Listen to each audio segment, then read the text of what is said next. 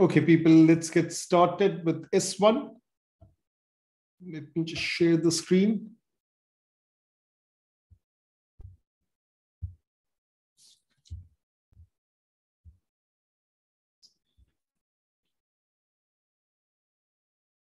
Uh, just hold for a second.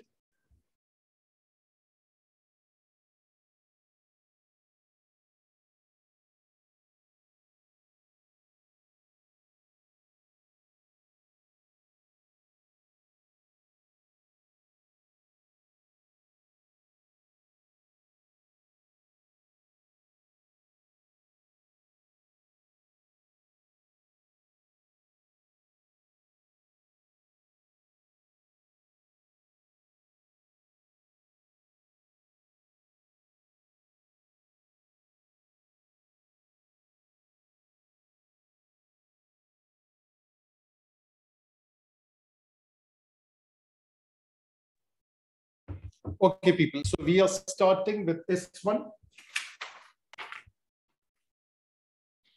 So let's get started. Let me get everything straight over here. And okay, it's all good.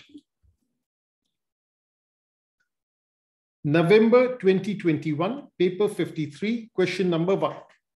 The 26 members of a local sports club include Mr. and Mrs. Khan, and then son Abad. So let me first underline.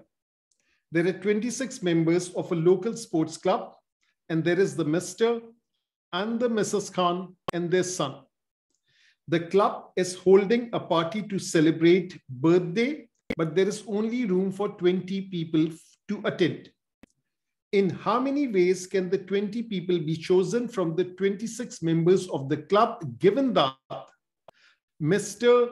and Mrs. and the son must be included? Now it's very simple. We have 26 people in the club and we can only have arrangement seating capacity for 20. Now, out of these, these three people, Mr. and Mrs and the son, they are part of that club. So they will be included. So just reduce it by three. And therefore, we are left with 23. And the seating will also have to be reduced by three. And we are left with 70. So basically, out of 23 people, we need to accommodate 17 guests and the answer is simple. It's about NCR combination. So therefore, 23C17.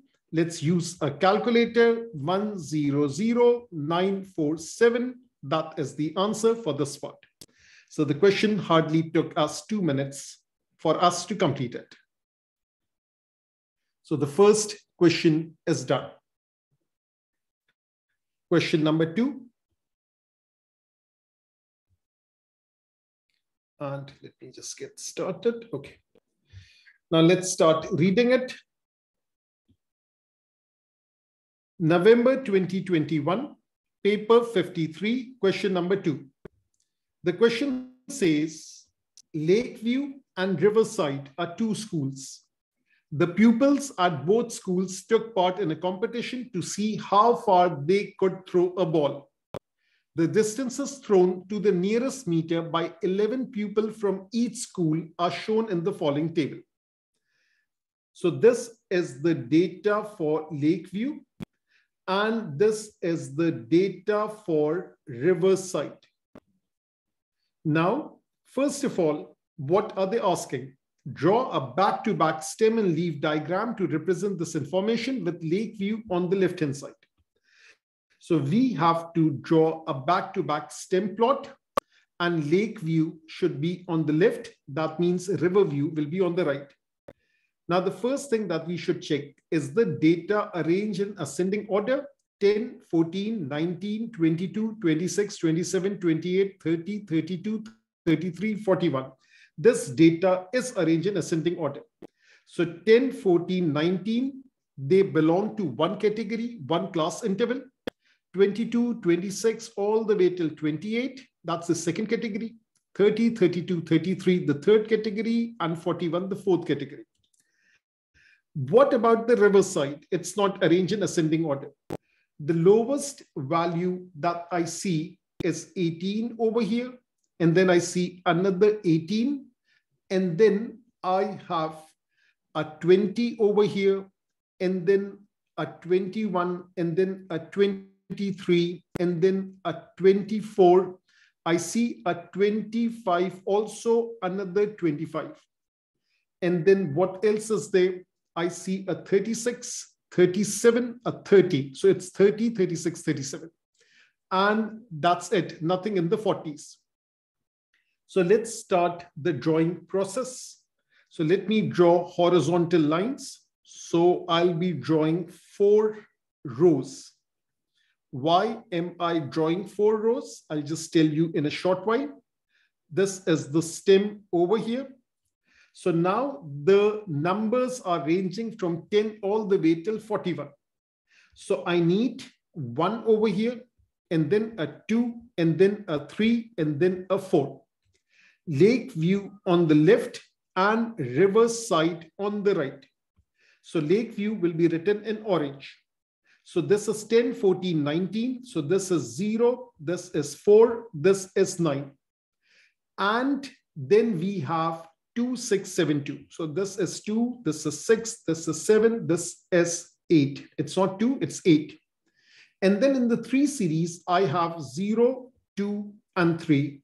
And then there is a 1 over here. What about the river side? I have 18 twice. That's over here, over here. That's 18, 18. And then I have 20 and 21 and 23 and 24 and 25 twice.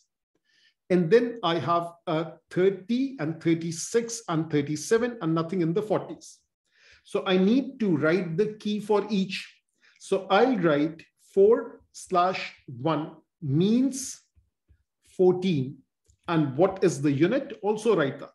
So this 14 is basically the distance. So this means 14 meter. And what about the other one? 1 slash 8 means 18 meters. So now this is completed. What do we need to find now? Find the interquartile range of the distances thrown by 11 pupils at the Lakeview School. Now, first of all, there are 11 students. 11 divided by 2 is 5.5. Rounded up, that gives us the sixth value. That means the sixth value is the median value and then there are five values smaller than this, five values greater than this.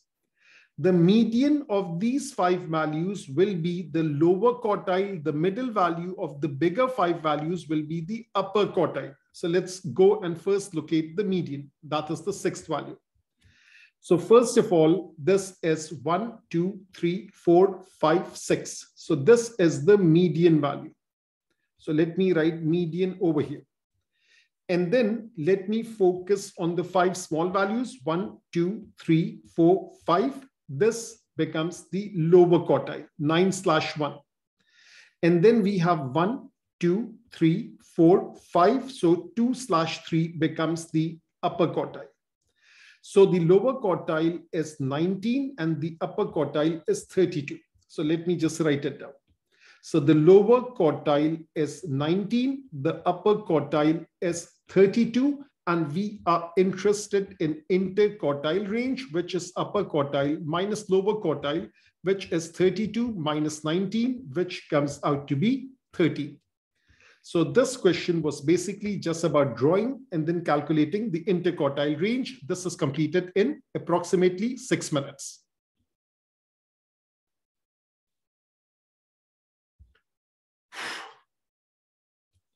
So now two questions are down. Let's move to the third question.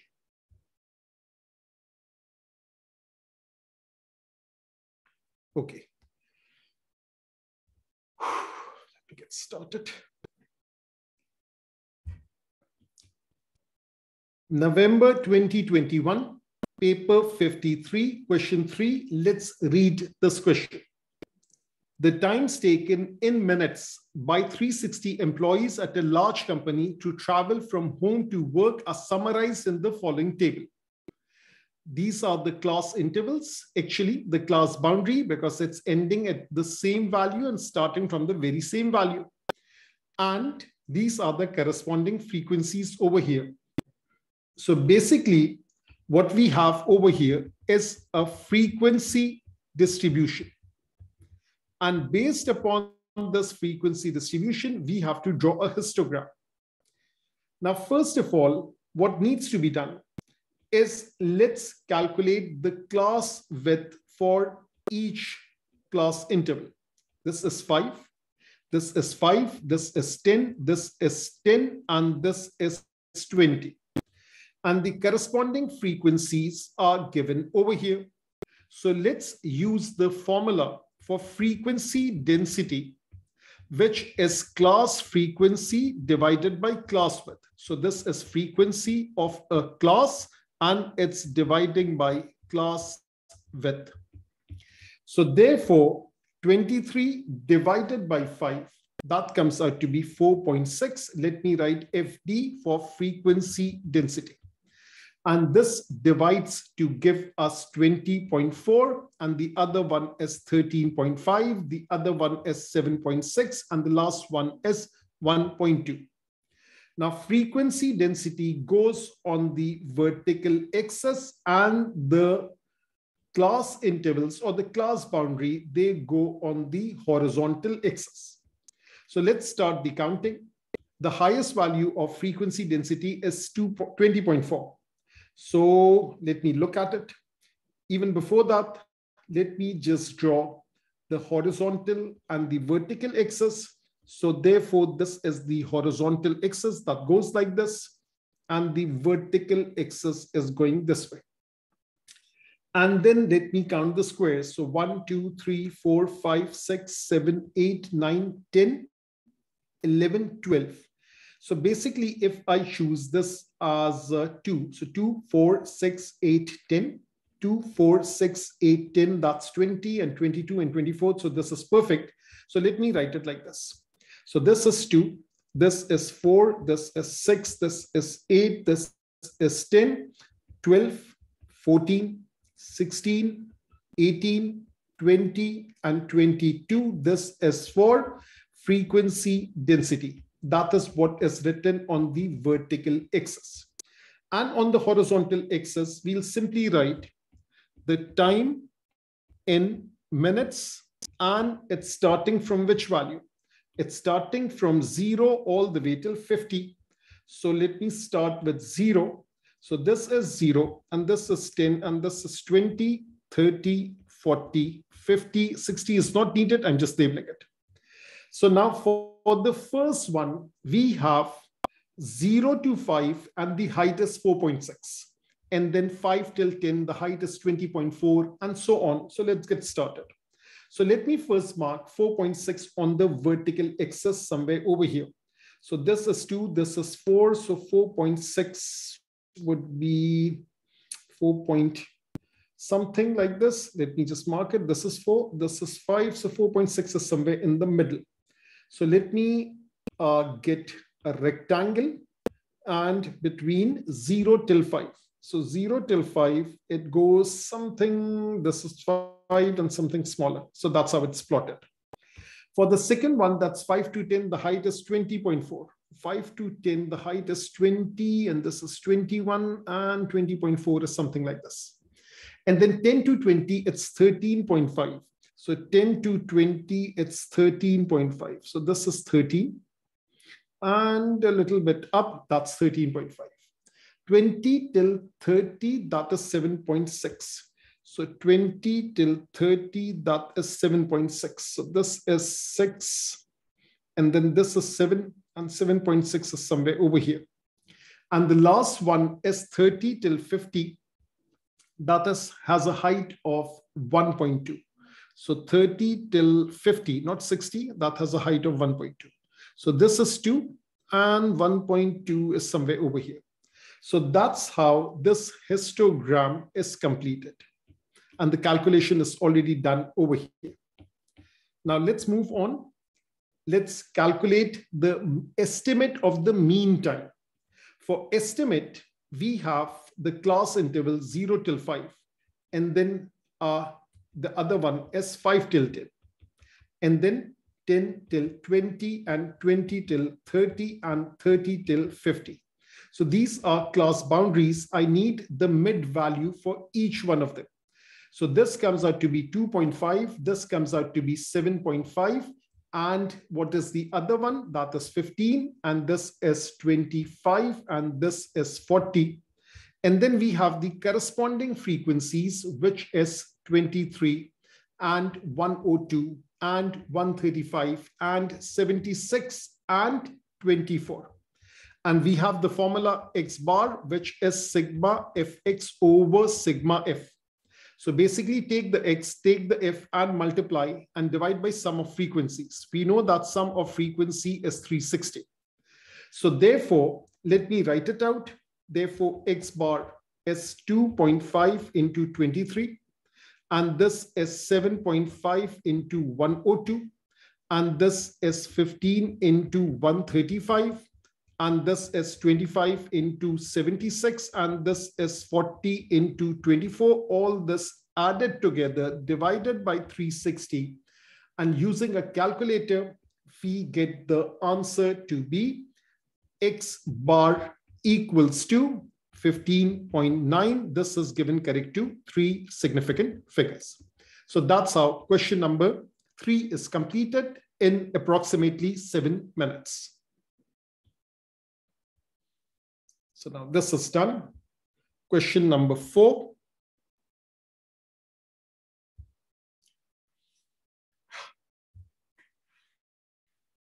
I'll just hold for a second.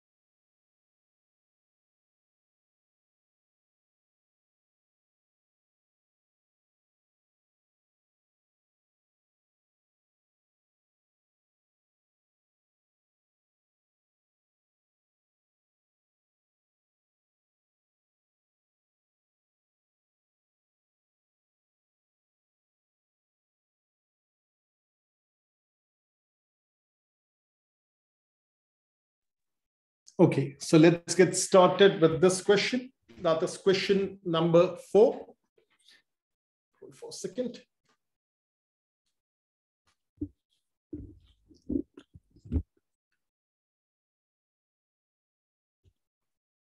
So let's get started. November 2021. Okay, there's a problem with the screen sharing. Hold for a second. Start it once again. Let's share.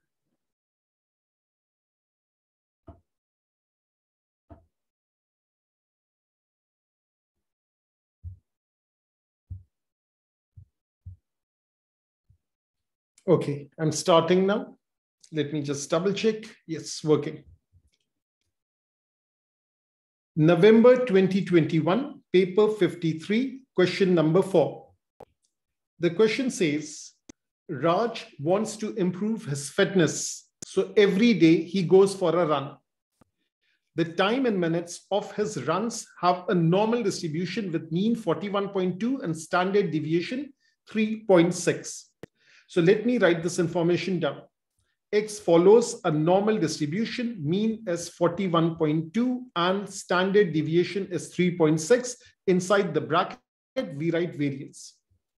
The first part, find the probability that on a randomly chosen day, Raj runs for more than 43.2 minutes. So probability X is greater than 43.2. Probability Z is greater than 43.2 minus 41.2 divided by 3.6. Using a calculator, this simplifies to Z is greater than 0.5556. Now the rule is Z greater than a positive value is 1 minus probability Z lesser than this positive value. So we have to go to the table and we have to read the probability. So phi of 0.5556 is coming out to be 0.7108. So let me do the subtraction. 1 minus 0.7108 is coming out to be 0.2892, which will be rounded off to 0.289 for this part, correct to three significant figures. That is the first answer. Let's focus on the second part. Find an estimate for the number of days in a year on which Raj runs for less than 43.2 minutes. So we just calculated probability X greater than 43.2 is how much? That is point, uh, 2892. Therefore, probability X lesser than 43.2 is how much? That is, uh, hold for a second. I just made some calculation error. Just hold for a second.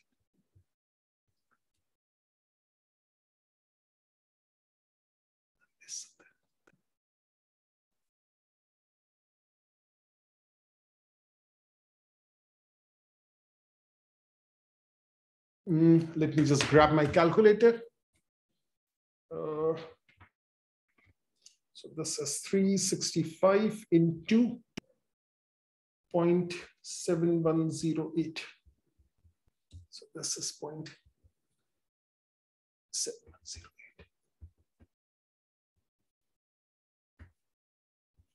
Okay.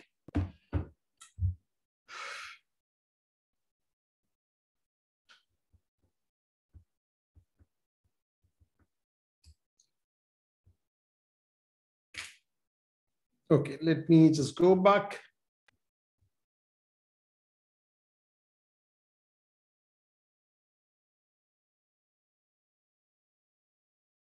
Second.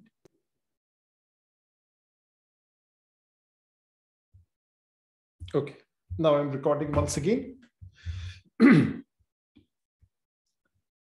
now, it's asking for an estimate for the number of days in a year of 365 days on which Raj runs for less than 43.2. Now, what we just calculated over here, that was greater than 43.2. And the unrounded value is 0.2892. So let me write it first. Probability x greater than 43.2 is 0.2892. Therefore, probability x lesser than 43.2 should be 1 minus this value, which will be this value naturally. That is 0.7108. And that is what we are looking for. But we are not just looking for the probability. We are looking for the expected value, the expectation. So the expectation, the formula is NP. Basically, we are saying that y follows a binomial distribution in which 365 is the number of trials and the probability of success is 0.7108.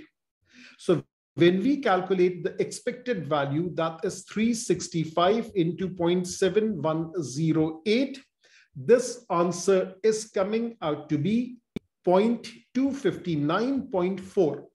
Now, either we write this thing as 259 days or we write this thing as 260 days. We have to give the answer as an integer, as whole number of days. Both answers are acceptable. Now let's look at the third part. Now it says, let me just reduce it. So now it says on 95% of the days, Raj runs for more than T minutes. So probability x greater than t is 0.95. Therefore, we have to standardize. And remember that x follows a normal distribution 41.2 and 3.6 square. So first of all, for 95% probability, the corresponding z value is 1.645. So therefore, let's standardize and we will write probability z is greater than t minus 41.2 divided by 3.6 is 0.95. Probability z is greater than a value and it equals to 0.95. The z value is right over here. But we have to take care of the positive negative sign. The rule is whenever the probability is greater than 50% and there is a greater sign, the z value is negative. Now let's take this fraction and let's equate it to this. So therefore, this 3.6 is there. I'm just making it more visible. So therefore, this is t minus 41.2 divided by 3.6 is negative 1.645.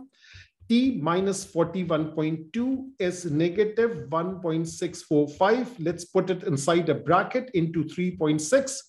Therefore, T is 41.2 plus negative 1.645 multiplying with 3.6. So therefore, T comes out to be 35.3 minutes. That is the answer for the last part. And the complete question is done in around five and a half minutes. Okay, so four questions are down. Let's move on to the fifth question. There is a question over here. Let me double check. Uh, your voice seems to go ahead of the video. Uh, yes, can't help that because uh, sometimes the broadband Wi-Fi connection, it fluctuates a bit. So when you will see the recording, that recording will be more exact.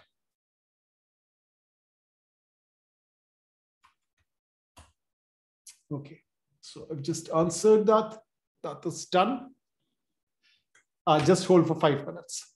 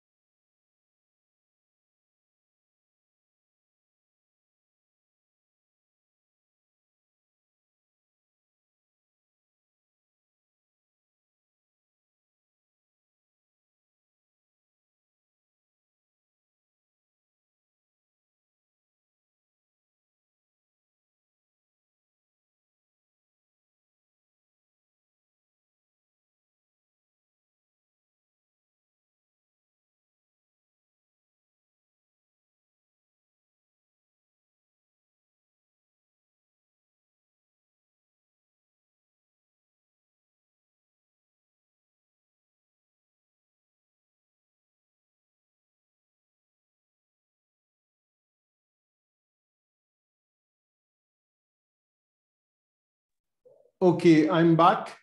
Uh, now let's get started with the question. Which ones have we completed? I think three is done. Four is also done. So we are moving to five now. So we will start with question number five. And let's get started. November 2021, paper 53, question number five. The question says a security code consists of two letters followed by a four digit number. So there will be two letters and then there will be a four digit number. Now it says the letters are chosen from A, B, C, D, E. There are five choices for these two letters. The digits are chosen from 1, 2, 3, 4, 5, 6, 7. Out of 7, we have to choose 4. No letter or digit may appear more than once. An example of a code is BE3216. Now, first of all, repetition is not allowed. So repetition is not allowed. That's out. Uh, let me correct it. Hold for a second. Two, one, six. Okay, now let me get started. So the first thing is a letter cannot be repeated. That means it's a question of permutation because it's about arrangement and repetition is not allowed. First of all, how many codes are there? So we need two letters over here and we need four digits over here. So first of all, any one of the five, any one of the four could occupy this space. And what about the digits? Any one of the seven, any one of the six, any one of the five, any one of the four. So 5 into 4 into 7 into 6 into 5 into 4. And when we multiply it out, this comes out to be 16,800. Now, there is an alternative way also. I can use this function NPR and I'll write 5P2.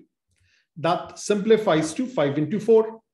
And I'll write 7P4 7 from 7 i'm choosing 4 so 7 6 5 4 that simplifies to this. I'll multiply it out and the answer is exactly the same. That is 16800 now let's move to the second part now it says find the number of different codes that includes the letter a or the digit 5 or both now let's say i have the letters a B, C, D, E. And then I have the digits one, two, three, four, five, six, seven. Now let's consider the possibility in which A is not there. Let's consider the probability, possibility in which five is not there. So basically out of these four, I'll be selecting two. And out of these six, I'll be selecting four. So therefore, the answer for this one is 4P2 and the answer for this one is 6P4 and is there, multiplication is there. Therefore, this comes out to be 4320 in which there is no A, there is no 5. Now, when we eliminate this option, what options do we have? it would either have the letter A or the digit 5 or both. So therefore, the answer of part A is 16,800 minus the possibility in which there is no A and no 5, which is 4320. When we do the subtraction, this comes out to be 12,480. That's the answer for this part. So that's the simplest way of calculating this. Now it says, let's look at this part. A security code is formed at random. Find the probability that the code is DE followed by a number between 4,500 and 5,000. So basically, the question is just about this 4,500 and 5,000 because this is fixed So why worry about it?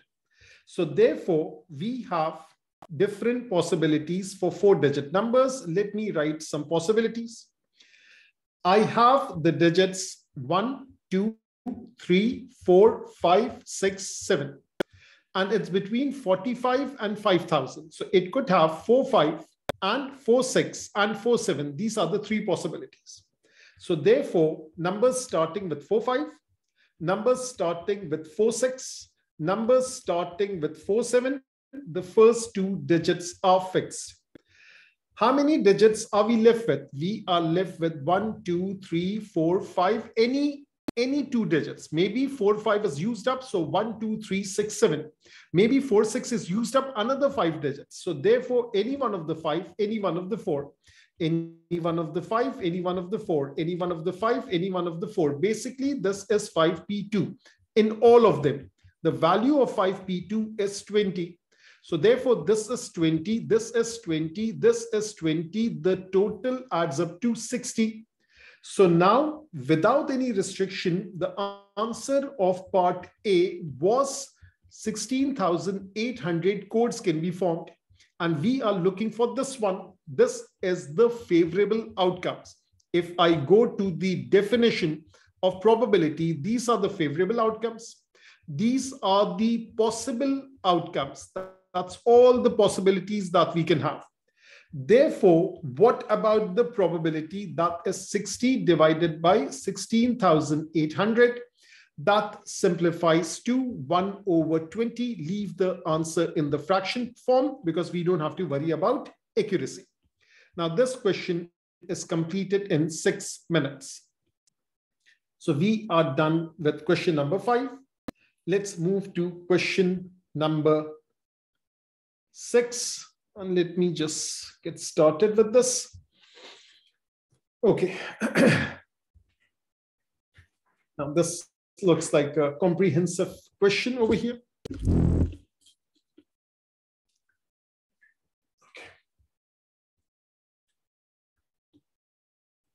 November 2021, paper 53. Now there is a problem with this. Hold for a second.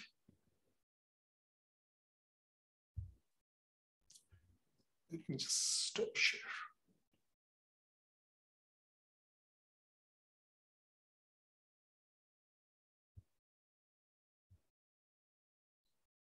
Mm, just hold for a second. Just think of the alternative.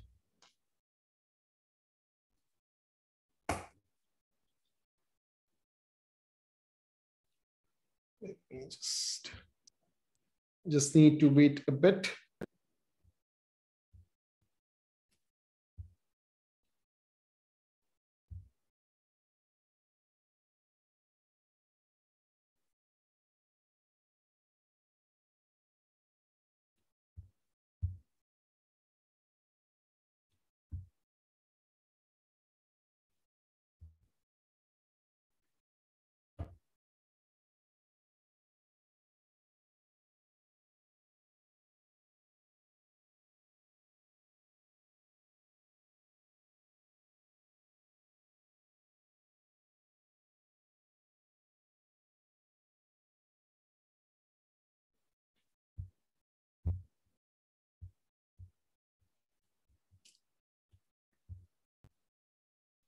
Okay, let me just double check. Okay, I think this is better. Let me get started. November 2021, paper 53, question six. Let's read this question. In a game, Jim throws three darts at a boat. So Jim is throwing three darts at a boat. And what else is it asking? This is called a turn. The center of the boat is called the bullseye.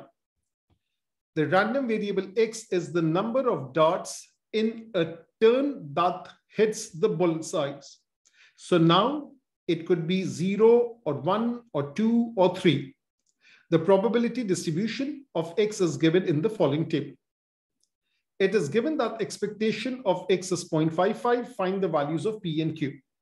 Now, first of all, we know that sum of probabilities should add up to 1. That is the first thing. So therefore, 0.6 plus P plus Q plus 0.05 equals to 1. Therefore, P plus Q adds up to 0.35. This is equation number one. Basically, this is 1, this is 0.65, the difference is 0.35. The second equation is about expectation. Expectation is sigma xp. So what we do is that we take the values which is 0 and we multiply it with 0.6. Take 1, multiply it with p. Take 2, multiply it with q take 3, multiply it with 0.05 and equal it to the expected value, which is 0.55. So therefore, this is P plus 2Q plus 0.15 is 0.55. So therefore, this difference is 0.40. This is P plus 2Q. So now this is equation number two. Now let's solve these two simultaneously. Let me write P plus Q uh, just hold for a second.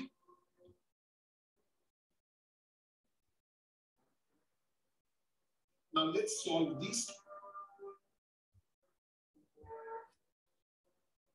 Just waiting for the azan.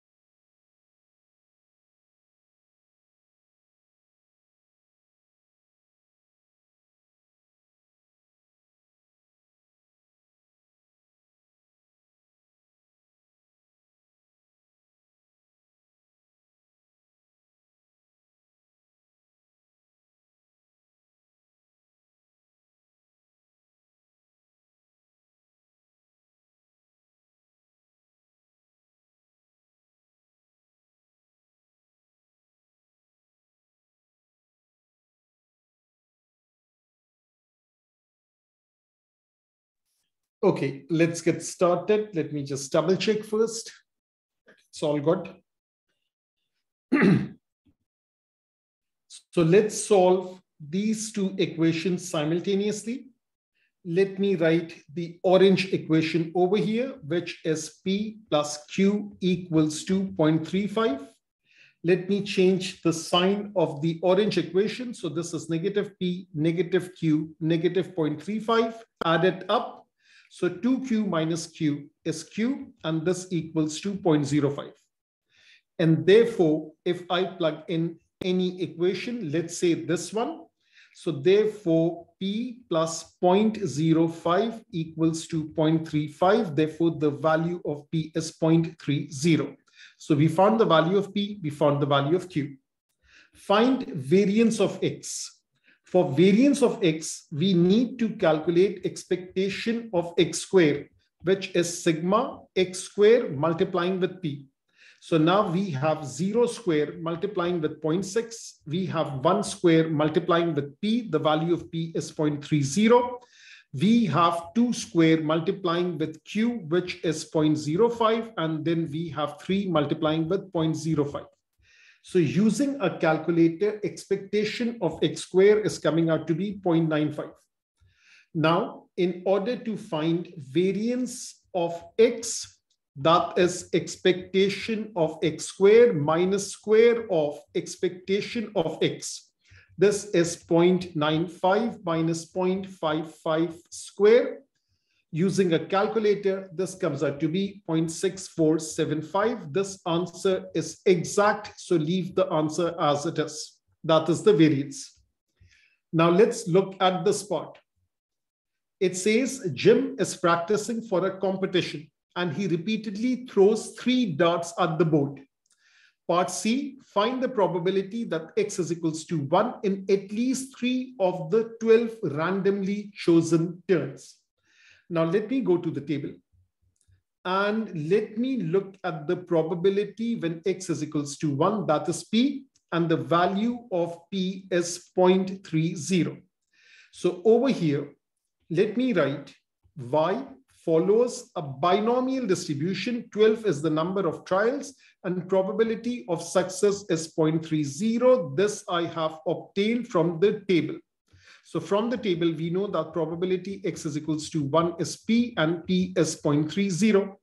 Now it says at least 3. So probability x is greater than or equal to 3, which is too much to calculate. 1 minus probability x is less than or equal to 2, which is 1 minus. Let's calculate it. Probability x is equals to 0, 12c0, and then two brackets, and then 12c1, and then two brackets, and then 12C2 and then two brackets. So what goes inside the bracket? First of all, this is the success 0.30 over here. And then we have the failure 0.70 over here what is the power of success? Let me just write it down. So this zero goes over here and this one goes over here and this two goes over here and the difference between 12 and 0, this is 12 and this is 11 and this is 10. So now we have to use a calculator to calculate all these and then subtract from 1. So finally, the answer is coming out to be 0.747 correct to three significant figures. So that's the answer for part C. What about the next part? Now it says, find the probability that Jim first succeeds in hitting the bullseye with all the three darts on his ninth turn. Now, what is the probability of success?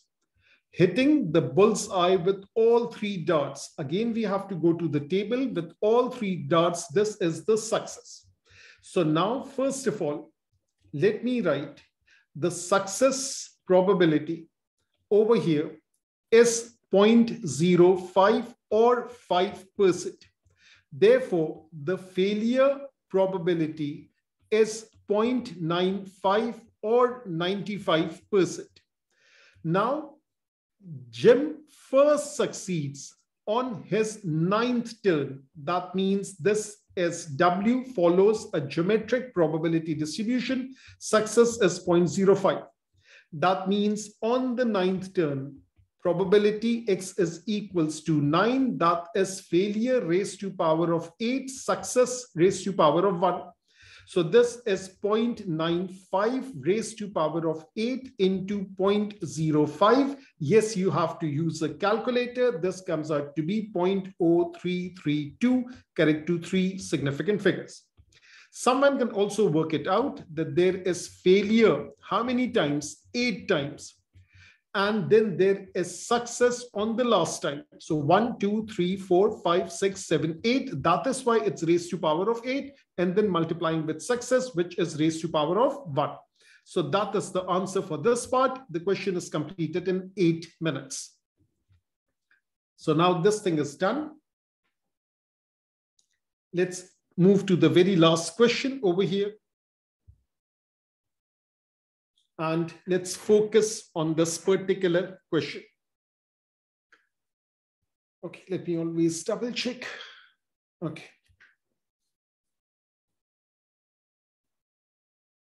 Let's get started. November 2021, paper 53, question 7. The question says, box A contains six red balls and four blue balls. Box B contains X red balls and nine blue balls. A ball is chosen at random from box A and placed in box B. A ball is then chosen at random from box B. Complete the tree diagram, giving the remaining four probabilities in terms of X. Now, first of all, let me write down for box A, for box A, we have six red and four blue balls. For box B, we have X red and nine blue balls. Now, first of all, the total over here is 10. The total over here is X plus 9 but we will be taking one ball from A and then placing it in B. So it will be increased by one. That is the first thing. Now let me go to the tree diagram. And for each, let me first write the denominator, which is x plus 10. So this is x plus 10, x plus 10, and x plus 10. That is the first thing. Now, let me go back over here. Now, if I'm choosing a rate from here and then a rate from here, the rate is x, but because of the transfer, the x will increase to x plus 1. So let me write x plus 1 over here. The same as the scenario if I choose a blue from here and then a blue from here. So this 9 will be increased by 1 and this will become 9 plus 1. Now, what else is there? What about if I choose a red from here and blue from here, this 9 will be unchanged. So over here, let me write this 9 as 9. Or if I choose a blue from here and a red from here, so this x will not change. So this x will remain as x.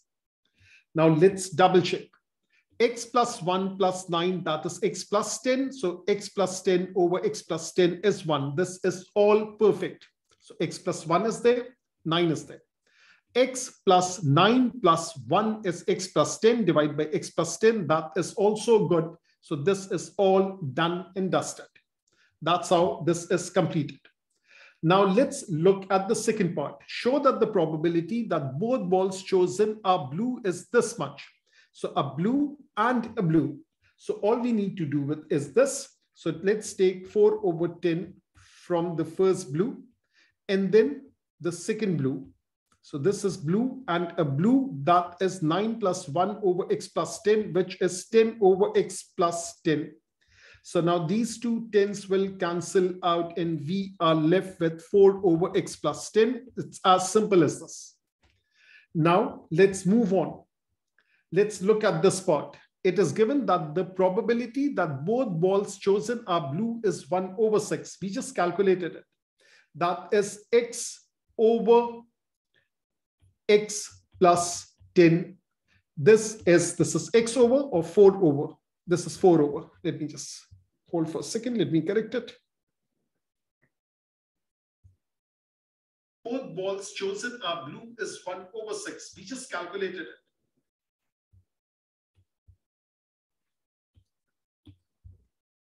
The question is asking, find the probability that the ball chosen from box A is red, given that the ball chosen from box B is red.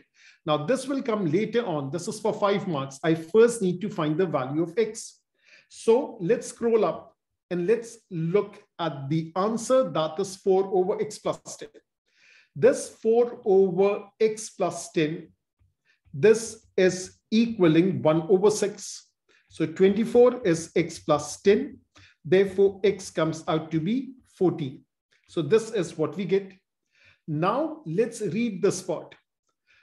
That the ball chosen from box A is red, given that the ball chosen from box B is red. So now box B is red. What are the options?